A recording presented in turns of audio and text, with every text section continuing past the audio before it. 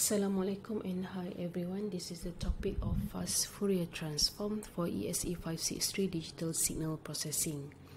The learning outcomes is uh, the first one is to derive computation of radix 2 and radix 4 FFT from analysis equation of DFT.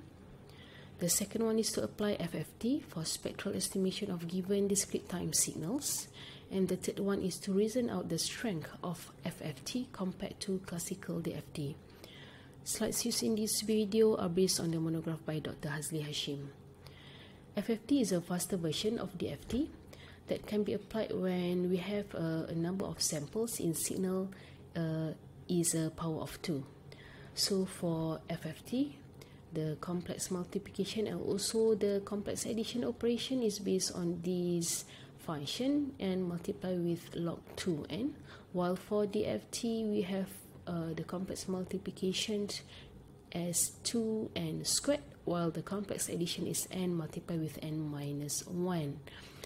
Um, DFT is very inefficient when dealing with large samples since DC and NAN for multiplication and addition will give a very large values while FFT um, is significantly faster uh, and leads to more efficient algorithm since the multiplication and addition uh, produce smaller number compared to Cn and En for DFT.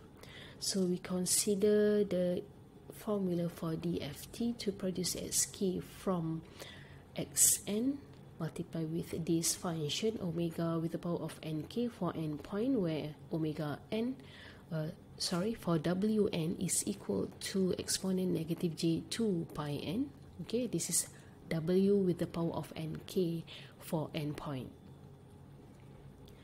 So um, this one is based on the example for n equal to 4 so k from 0 until n minus 1 so this w with the power of n k for n point is equal to this one. And this one is based on Euler's identity. So we have this equation cos omega n minus j sine omega n. And then for k from 0 until 3 so we have this function for DFT the complex multiplication is 2n squared and complex addition is n multiplied with n minus 1 so we have 8 for multiplication for each from k equal to 0 until 3 and also for complex addition we have 3 from uh, k equal to 0 until k equal to 3 so this is the number of computation for multiplication based on this equation and this is the number of computation for complex addition based on this equation for DFT. So this 8 number of computation for multiplication is based on this one. So this is uh, the 8 values uh, that involve the multiplication process. Okay, and uh, based on this one, this is uh, when we solve based on Euler's identity, uh, this one becomes 1 for k equal to uh, 1.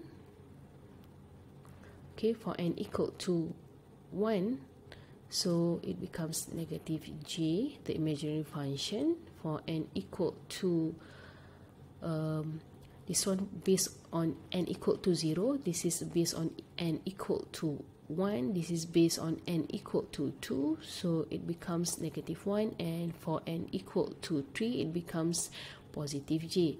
So we substitute back in this equation and we rearrange based on this one. This is the real values and this is the imaginary values. So this um, complex addition computation which is equal to 3 based on this arrangement. So however um, so the total numbers of computation for complex multiplication is 32 based on this formula for DFT and for complex addition is equal to 12 okay for n equal to 4 so for large n sample um, in DFT the periodicity and symmetry properties are implemented based on these two equations